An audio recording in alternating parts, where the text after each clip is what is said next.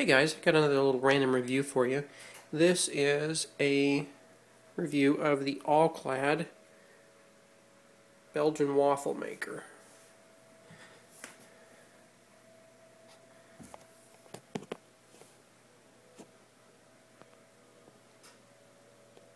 There's not a lot to it, you just got a dial in a darkness setting, so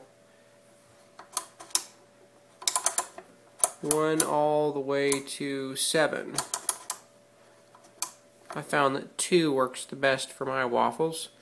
Um, you got a power indicator light, and then on the other side you've got a ready light that turns green and chimes when you're uh, up to temperature, and then also when your waffle's ready for whatever setting you've got.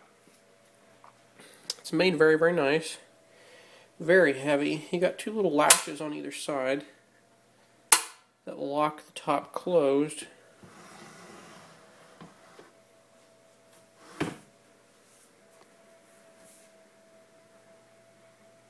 So you can transport it. Now they make a two square version of this. I opted for the four square. But the build quality and everything for the two square is just the same. You've got a little removable plastic tray here in the back. That's supposed to be for catching your drippings. And the first time I used it, I overfilled it, and it actually worked. It caught most of the drippings that went out the back.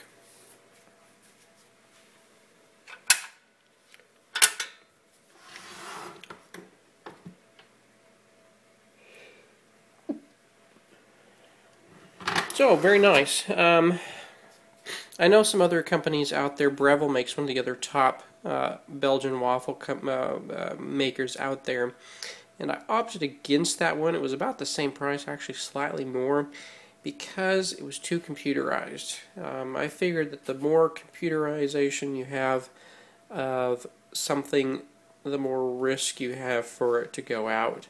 Um, you know, if the screen goes out or something of the electronics goes out, then you have a waffle maker that costs you two hundred and you know fifty dollars or forty dollars or whatever it cost that doesn't work anymore. Um, sometimes simple is better, and I think this is a very elegant looking. Um, it weighs a ton. It's um very very uh, beefy made. So we'll make some waffles real quick, and hopefully they'll turn out. Now I've got my batter ready. Um, true Belgian waffle uh, batter is actually yeasted batter, and so I prepared the batter the night before and then let it sit in the refrigerator, and it's actually uh, been growing overnight. It's doubled in size at least.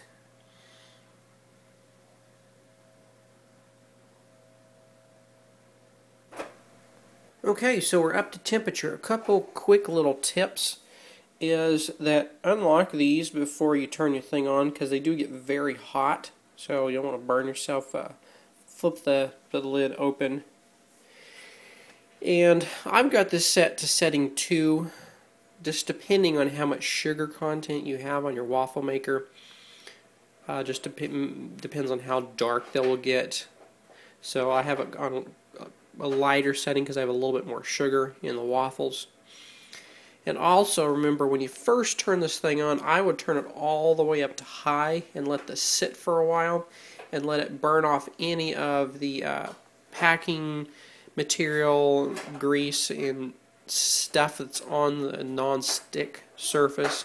Because um, when it first turns on, it'll start to steam and smoke a little bit, and it kind of stinks. So I would let this sit there for a while.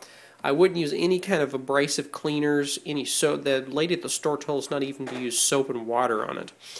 Um, so maybe make a waffle, the first waffle, maybe even a throwaway waffle, just to make sure that you don't have any of the, you know, the grease or whatever was left over from the manufacturing process on it. But after it, it's done doing all that, you're ready to go. So I think we're ready to go here. See if I can do this one-handed.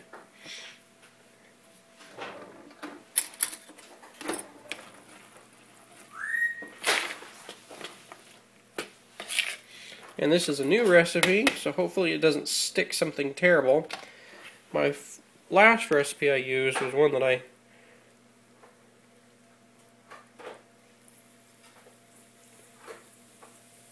comfortable with and didn't have any problems with it sticking.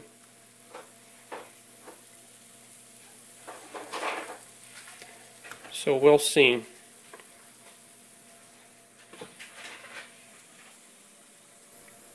So while this is still cooking, you can see that there's no dripping around the edges, but I did overfill the thing and it runs out the back very nicely. So it does make cleanup a lot nicer than a traditional waffle maker that you know you overfill and it goes everywhere.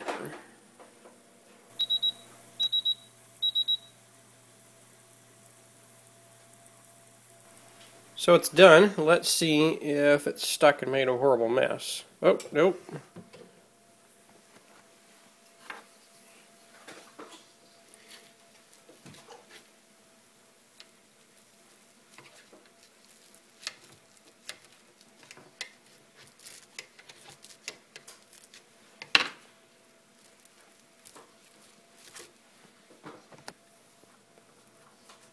Oh yes, very nice.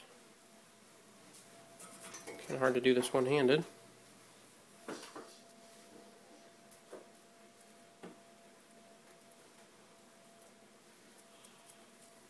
But yep, you get the idea. The all-clad Belgian waffle maker makes beautiful waffles. And so far I've been very, very happy with it.